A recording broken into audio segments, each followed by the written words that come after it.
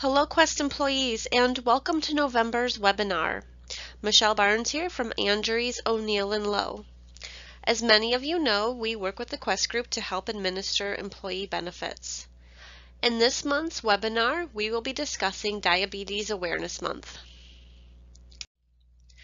As I said, November is National Diabetes Awareness Month. And can you believe that almost 30 million in the people in the US have some form of diabetes, yet one in four don't even realize they are walking around with it? Diabetes affects one in four people over the age of 65, and about 90 to 95% of cases in adults are type 2 diabetes. Diabetes Awareness Month is an annual event each November to boost awareness about the risk factors, symptoms, and types of diabetes. Some of you may be wondering what diabetes is. Diabetes is a condition that occurs when your blood glucose, also called blood sugar, is too high. Blood glucose is your main source of energy and comes from the food you eat. Insulin, a hormone made by the pancreas, helps glucose from food get into your cells to be used for energy.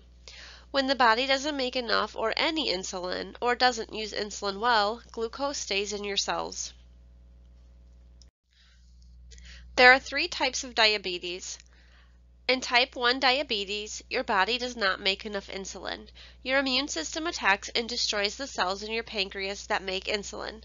Type 1 diabetes is usually diagnosed in children and young adults, although it can appear at any age.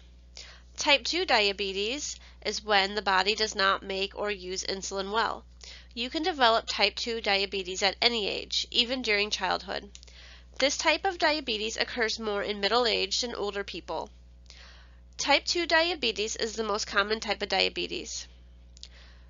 Gestational diabetes, which for the purposes of this presentation we'll briefly touch on, develops in some women when they are pregnant. Most of the time, this type of diabetes goes away after the baby is born. If you have gestational diabetes, you have a greater chance of developing type 2 diabetes later in life. 1.25 million Americans have type 1 diabetes, and 40,000 more will be diagnosed with it this year. Type 1 diabetes occurs at every age in people of every shape and size. Again, type 1 diabetes is when the body does not produce enough insulin. With the help of insulin therapy and other treatments, individuals can manage their condition and live a very long and healthy life. Type 2 diabetes is the most common form of diabetes, and it means that your body doesn't use insulin properly.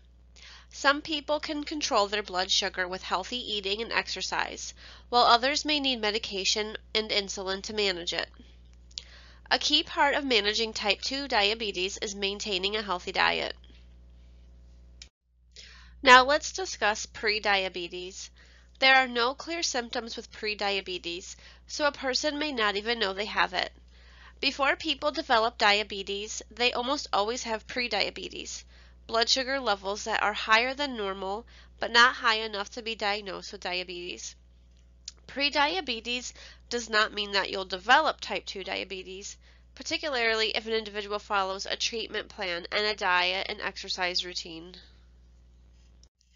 Who develops diabetes?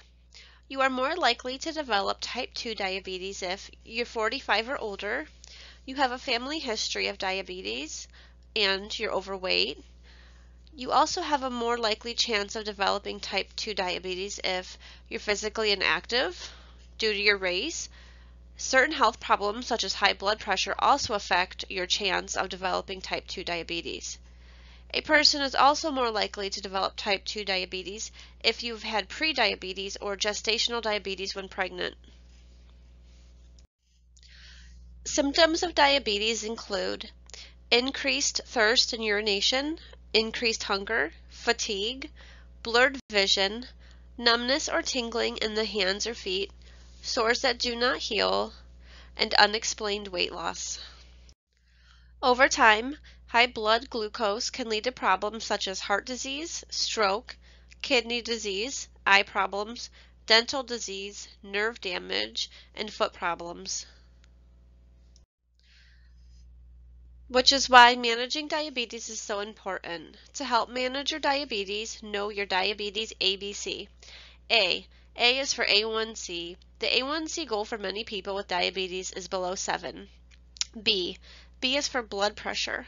The blood pressure goal for most people with diabetes is below 140 over 90. C is for cholesterol. S. Stop smoking. Narrowing blood vessels makes your heart work even harder. Also, follow your diabetes meal plan and make physical activity part of your daily routine.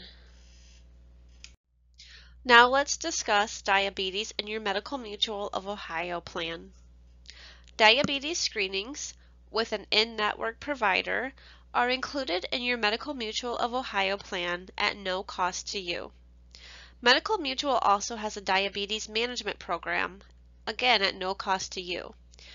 If you have diabetes and would like to enroll in the Diabetes Management Program, you can do so by calling Medical Mutual at 1-800-861-4826 and select option 2.